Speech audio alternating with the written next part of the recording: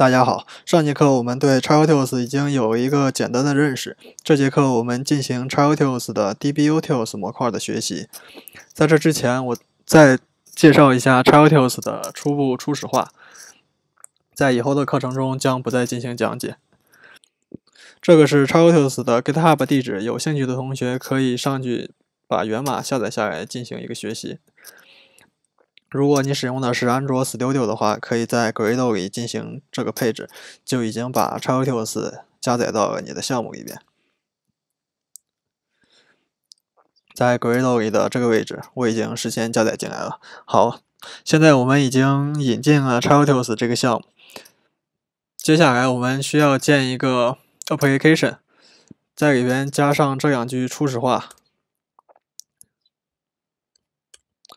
然后在配置文件里把这个 myApplication 进行一个赋值。然后我们使用 XUtils 的话，需要两个权限，一个是 Internet 的权限，一个是写外部存储的权限。最后，我们需要在使用 XUtils 的当前类里边进行一个 inject inject 的初始化。到这里，我们就对 XUtils 的初始化进行了一个完成。好，接下来我们进行 XUtils 的 DBUtils 模块的学习。首先，我们使用 DBUtils 创建一个数据库。在创建数据库之前，我们需要先进行一下数据库的配置，即到 config。首先，我们 new 一个。Db manager 的到 config，db manager 点 config 等于 new config。好，我们先看一下 config 的源码，可以看到它里边提供了一些 public 的方法。这个 set db dir 是设置。里边需要传入一个 file 文件，是设置数据库的存储目录的。set db name 可以看出来是设置数据库的名字。set db version 即设置数据库的版本。ago transaction 这里边需要传入一个布尔型的值，是你可以配置是否开启事务。而它的默认值是 true 的，即使你不进行设置的话，默认的话就是 true。还有 set db open listener，这个是控制数据库打开的时候的一个监听。db up upgrade 数据库更新的一个监听，这个是表创建的一个监听。好，下面。它主要就是这些方法，我们下面来对它进行一下配置。我们另起一行，我们先给它设置一个内部吧，set db name，就叫它，这里需要传入一个 string try，就叫它 test 点 db，好了。再设置一个 dir 及数据库的存储目录。我们 new 一个 file，传这里需要传入一个路径，我们为方便起见就直接写 sd card 了。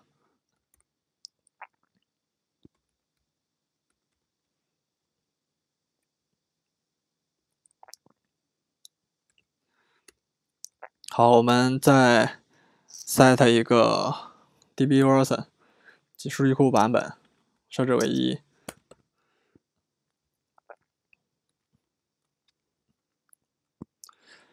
数据库的 open listener，数据库打开的时候需要执行的一个东西。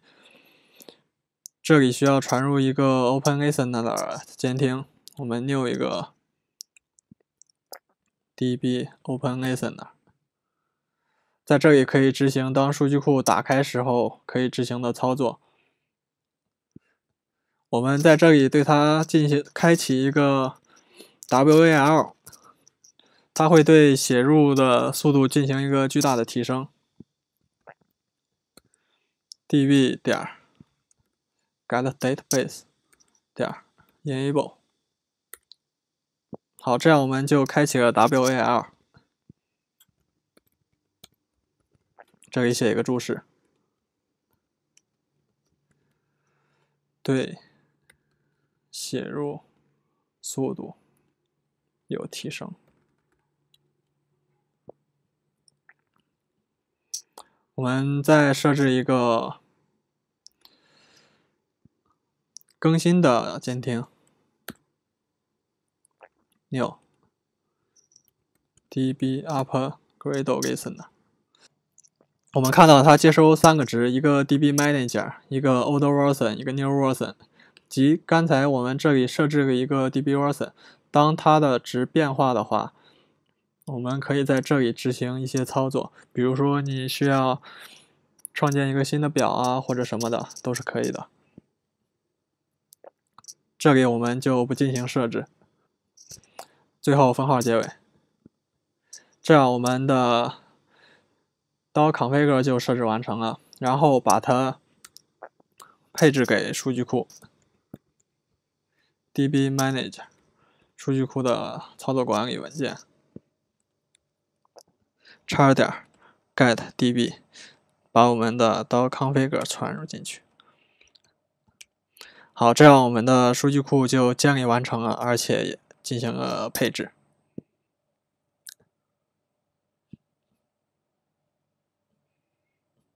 接下来我们进行数据库的一个表配置，需要我们就以 user 为例，创建一个数据库表。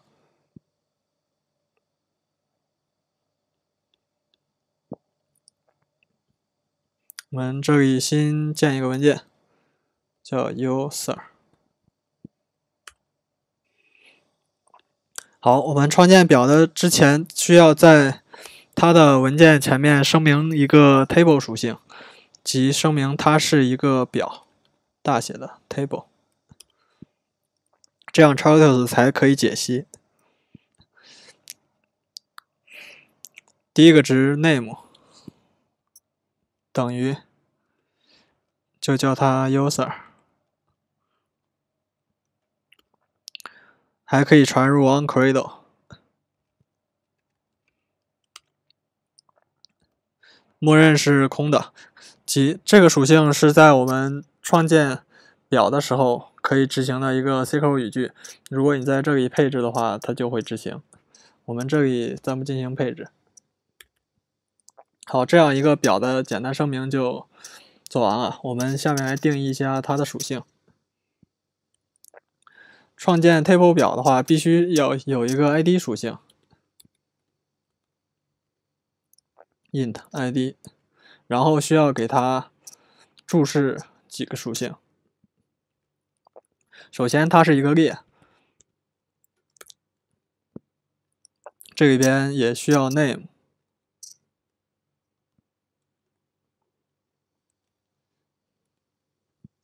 然后 name 名为 id，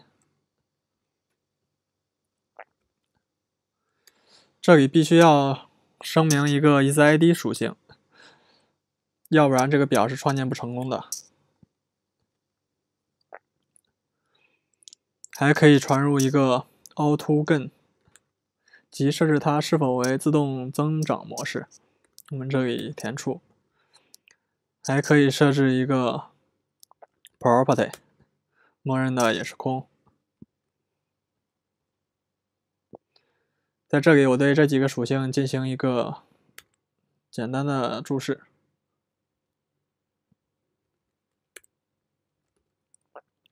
这里 name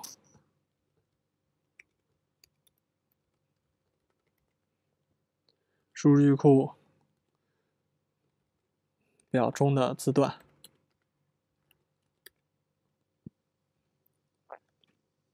isId 是否为主键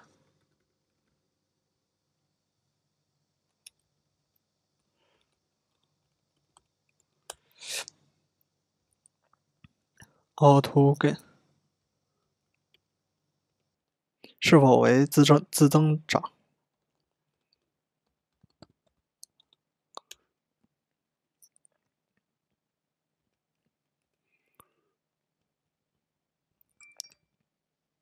property，这是一个约束。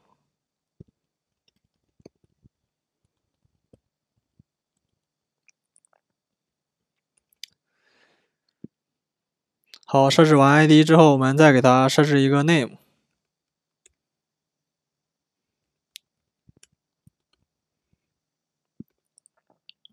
同样，我们需要给它加入一个列名的权限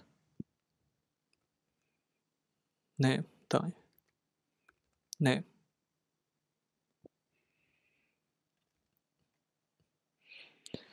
这里我们需要注意的话，如果不加这个属性的话，它在表里边是没有这一列的。比如我们再设置一个 email 属性，这里我们不加入这个声明。接着我们设置一下 getSet 方法。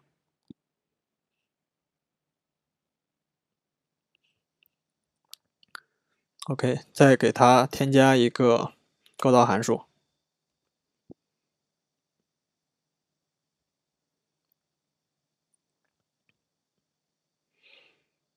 添加一个 name。这里需要注意的是，我们必须再写一个无参的构造函数，否则这个表是建立不成功的。这句话删掉。OK。这样，我们这个实体位就创建完成。接下来，我们进行数据库的增删改查操作。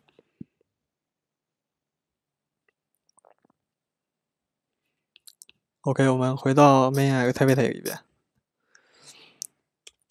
这里我在布局文件里边声明几个按钮：button。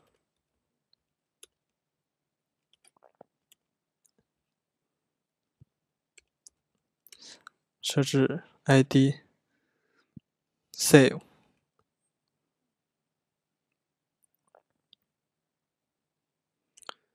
test 增 OK，我们再复制几个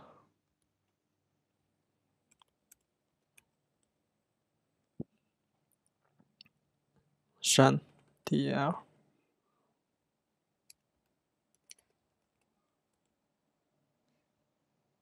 改，upgrade，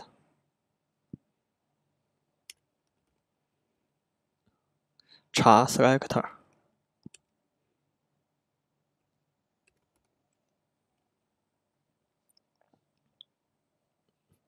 好，这样这几个按钮就设置完成了。我们先对表里进行插入数据。设置一个点击事件，on event r 点 a d 点 save private void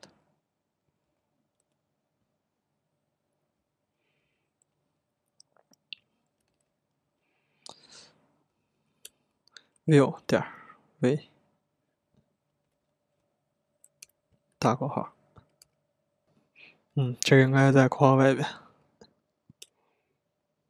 OK，然后我们 new 一个 user，等于 new user，给他传一个 name，叫张三，然后调用 db。点 save 方法，我们把这个 db 提出来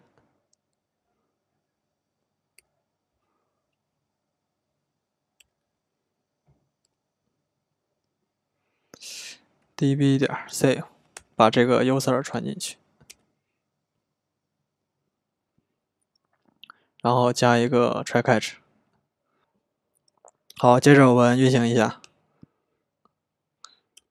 这里我事先开一个模拟器。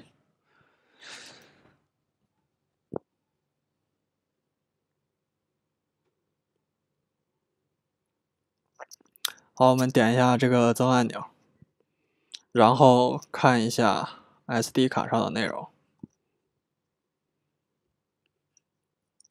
在它存储的目录下有一个 TestDB，可以看到这里边数据库已经创建完成。看一下这个表，这里边有三个表，前两个是它默认的，都会有。这里是我这个 user 是我们自己创建的。可以看到，它里边有两个属性，一个是 ID，一个是 name，但没有那个 email，因为我们没，因为我们没有对它进行声明。好，接着我再再点一下，我们再看一下这个表，退出来刷新一下，可以看到它又增加了几条数据。好，这样我们的。增就完成了。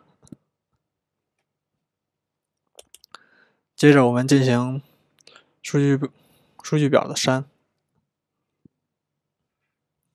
我们把这个复制一下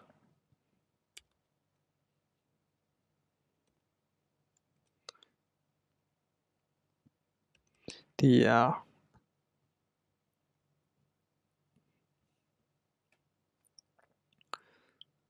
把这句话删除。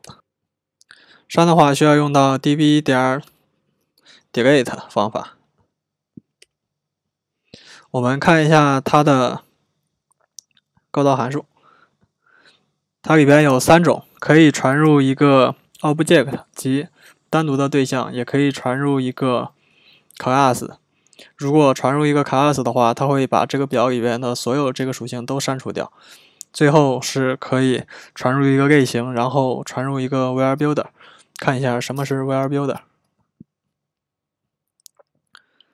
WhereBuilder 就是一个条件类，在里边我们输入条件可以进行有针对的查找或者删除。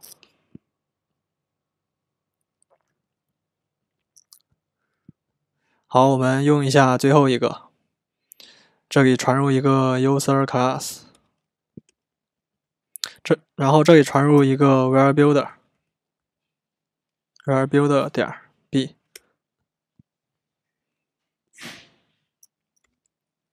点 and，第一个是列名，传入 id，第二个是条件，我们写等于，第三个是值，我们填一，好，进行一个 try catch。我们再运行一下，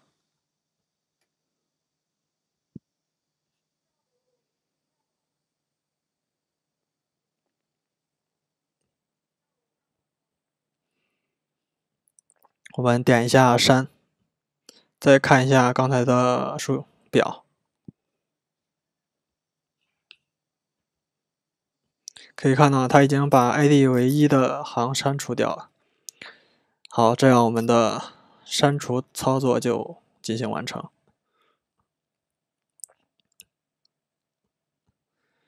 然后还有一个改，我们再复制一下，upgrade，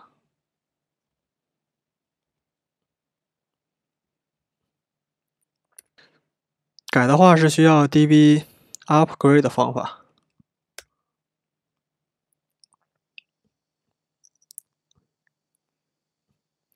同样跟刚才查一样，我们这里传入 user 点 class，这里是 VR builder 点 and 第一个列名，我们传 id。等于二。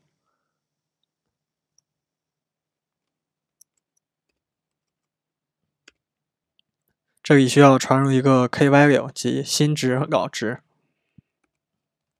new 一个 k-value，第一个为 k，门填 name。把它改为李四。好，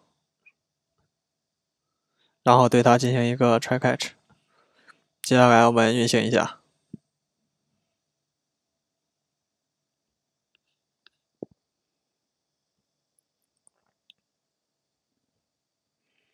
我们这里设置的是 ID 为二的属性，改，再看一下数据表，之前还是张三，我们退出来重新进一下，可以看到它的 name 已经改成了李四。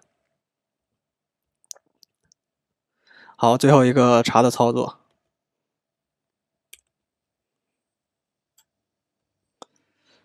，select。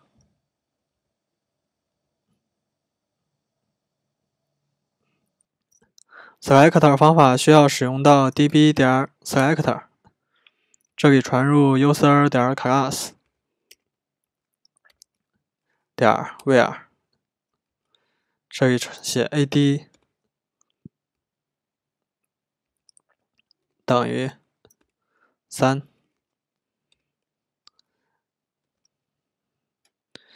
点 find first，我们只需要找到第一个就可以。然后打一个 log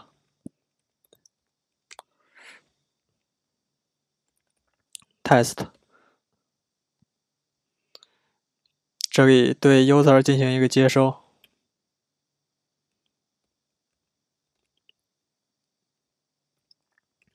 ，user 点 get name。好，接下来我们运行一下。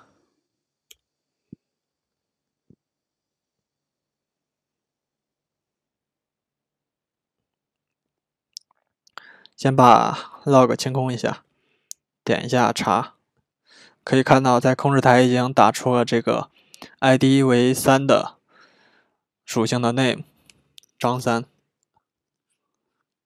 我们看一下，ID 为三是张三。好，到这里我们 dbutils 的增三增删改查操作就完成了。当然，dbutils 模块的功能不仅限于此，有兴趣的同学自己可以研究一下。好，这节课就到这里，谢谢大家。